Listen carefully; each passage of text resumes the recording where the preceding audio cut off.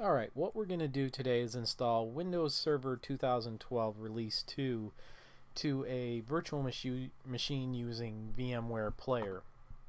Now you can use VMware Player or VMware Workstation or VMware Fusion which is used on a Mac. Either will work. Uh, but in this case I'm using the free VMware Player which does not actually require any licensing. So to get started I'm going to create a new virtual machine and I'm going to install it using a disk image file and I'll click browse. And this does assume that you've already downloaded the appropriate ISO um, if you are a student at a college you usually have access to uh, what was known as DreamSpark um, and now is called Microsoft Imagine which will give you um, ISOs of a lot of the Microsoft software. So I have a Windows Server 2012 Release 2 here, and I will click the ISO and click Open. And I'll click Next. and I'm going to change Data Center to R2 Standard. And the name of the system will be server but this is actually asking me for what the login will be called and I really don't want any other logins. Um, so I just put administrator here and I'm going to use the default password of capital P at SSW0RD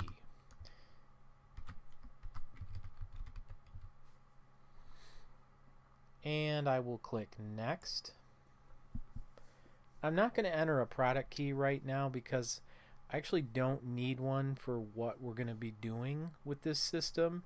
Um, I can use a command to rearm the trial period so I should have at least 120 days of trial.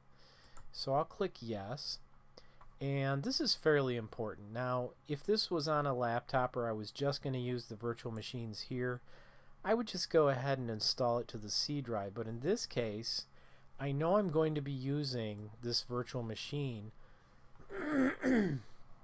on other systems. So what I'm actually going to do is install it on a external drive and I've created a VMware Virtual Machines folder. So I'll double click that folder and I've created a course code folder so I could put it in there for example and I'm gonna make a new folder inside this folder. And I will call it server 2012 and I'll press enter. And I want to do this because I want each virtual machine to be installed in a separate folder. So I'll click OK. And then I'll click next. I'm gonna leave the settings as they are maximum disk size 60 gigabytes and we will split the virtual disk into multiple files in the event that I might want to use a thumb drive to transfer this virtual machine. Then I'll click next again and I'm gonna leave these settings as they are but if I had to I could go down on the memory. If the host system does not have more than 8 gigabytes of memory, if it only has 4 gigabytes, we can customize the hardware and we could shrink down this memory a little bit or we can use the up and down buttons here to take the memory down. The system isn't going to be doing anything really processor intensive so we really don't need 2 gigabytes of memory um, so it's not going to be using a lot of RAM for a lot of different programs, so I could take this down.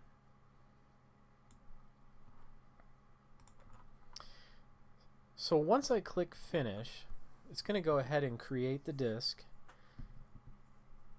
and it will reboot the system or boot it up and it's going to begin the auto installation process. Now depending on the system you're using the auto install can take a, anywhere from 15 minutes to 45 minutes or more depending. Um, this system that I have is fairly decent so it probably will take about 15 minutes.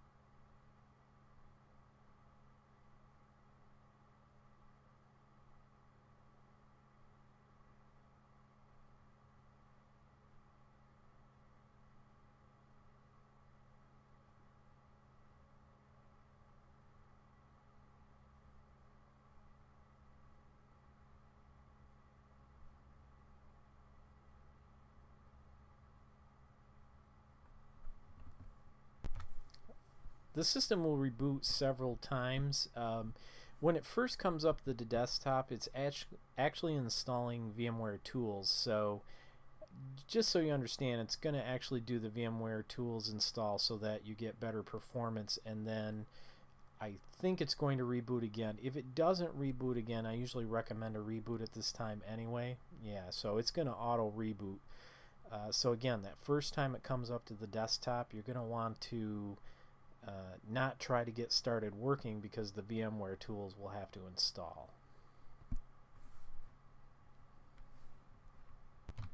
Once the system is done with all of its installation, it'll boot up to the desktop that'll look something like this.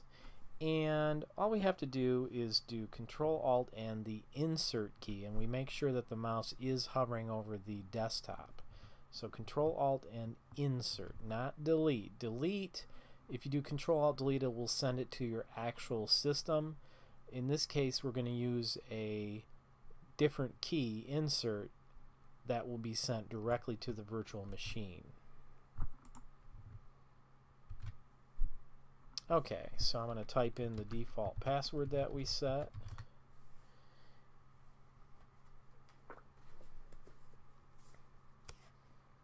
And eventually Server Manager will come up and Server Manager is the tool that we're going to use to finish the installation of Server 2012.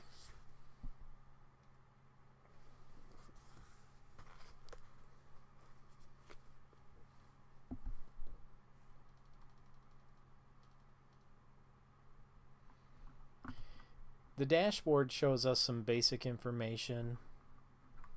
And what I'm going to do now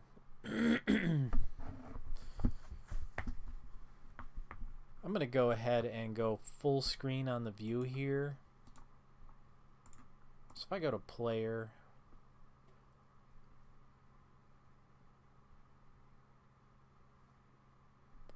I can click full screen and I actually can change the screen resolution.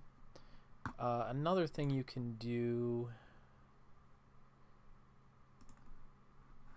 if we wanted to we can stretch to fit so if I change the size of the virtual machine it'll automatically fit the virtual machine in your window so let's try full screen again it should there we go so it fills the whole screen up. And if I want to, I can unpin the toolbar up here. And that will hide the toolbar. And if I need the toolbar, I can get it to pop back up just by hovering the mouse up over the top. And this is the VMware toolbar specifically. Now we have a lot more screen real estate. Um, this particular system I'm using is 1920 uh, by 1080, which is HD. So it gives me full screen resolution. So some things that I need to do, I'm going to click on local server and the first line says computer name. Let me change the view so that's a little bit more viewable. So the very first line says computer name and if I click this link it brings up system properties. Now I can go down to the change button and I can actually rename the computer and I'm going to call this computer server following the lab manual for Security Plus and I'm going to click OK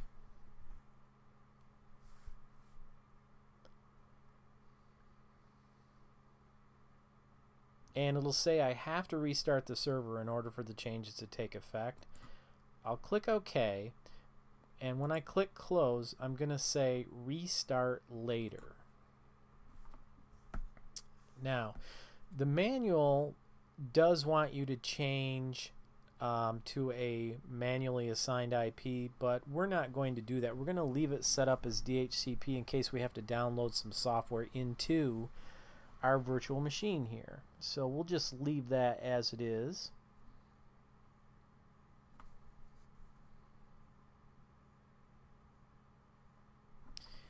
The other thing we want to do, and we can see that currently Windows Update is not configured. I'm going to change Windows Update. I'm going to click that link for not configured.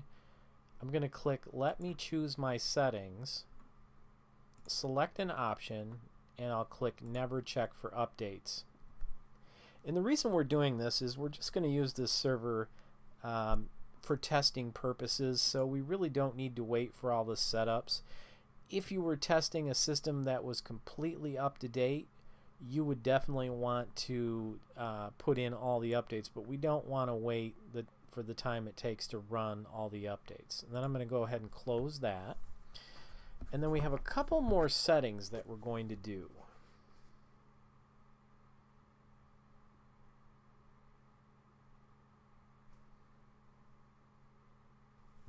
On the taskbar, if I click the File Explorer icon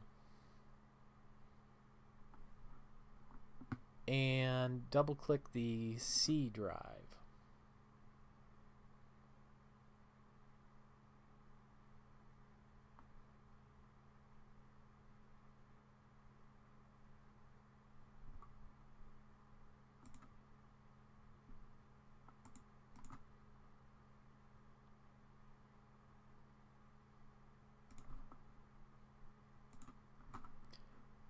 what we'll do now, I'm going to right click the Windows menu and I'm going to go to Control Panel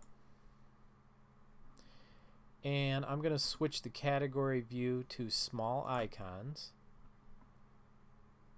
and then I'm going to click Folder Options and with folder options, I want to change a couple of settings here. I'm going to go to the view setting and I'm going to click show hidden files, folders, and drives. I'm going to click unclick hide extensions. I'm going to unselect hide protected operating system files and when I do that it warns me that it's not a good idea. But in this case, we definitely want to do it, so I will click yes, I'm sure I want to display them. And I'll scroll down, but there, yeah, there are no other settings that we need to change here, so I'll click OK.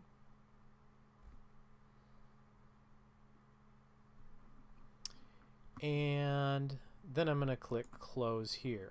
I'm going to move my mouse all the way down to the bottom of the toolbar where the network internet access icon is and I will right click and click open network and sharing center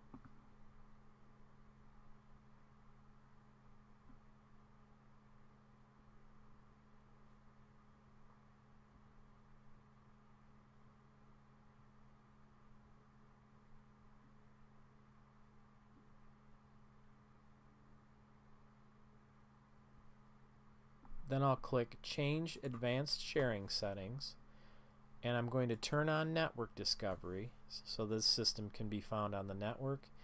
And I will turn on file and printer sharing and then I'm going to save changes. And then I'll close. Now in some of the, the labs that we will do the Windows firewall needs to be turned off and we can turn that off here if we want to with this link here. Turn Windows Firewall on or off. So I can turn off the firewall here and click OK and then the firewall will be shut off. If I right click again on the Windows charm I can click shut down or sign out and I'm going to click restart because remember we changed the system's name so we need to do a restart and there's several options you can choose. One of them that I'm going to choose is operating system reconfiguration planned. Now one thing I might consider doing before the restart,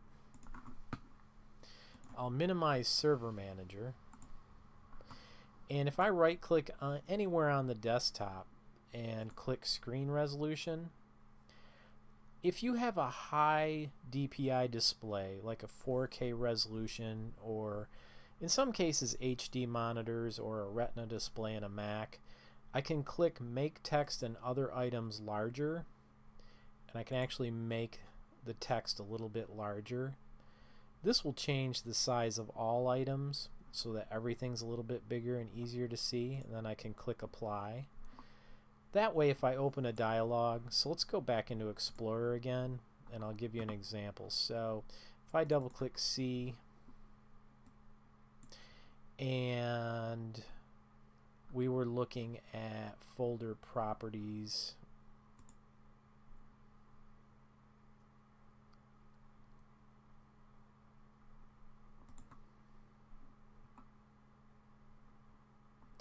If you look at the text now, it's definitely easier to read. And you could always change it to icons as well, and larger icons, and medium. And it just makes everything a little bit easier to view. So that's one thing you can do to scale things a little bit larger for you, depending on whether or not you need to have uh, everything larger and make it more viewable. So now I'm going to right click that Windows charm down there on the corner, do shutdown and sign out and restart. And I will select operating system reconfiguration planned. And the reason that we do this is because with a server, anytime that you are doing a restart, you should leave a message in the log explaining why the system was restarted. Now we could have typed in a specific reason, but in this case we're just selecting one of the pre-created reasons, which is a reconfiguration. So I'll click continue. I'm going to go up to my toolbar for VMware Player and turn off full screen. The system will go ahead and do a reboot and come back up and that will conclude our installation of Windows Server 2012 in VMware Player.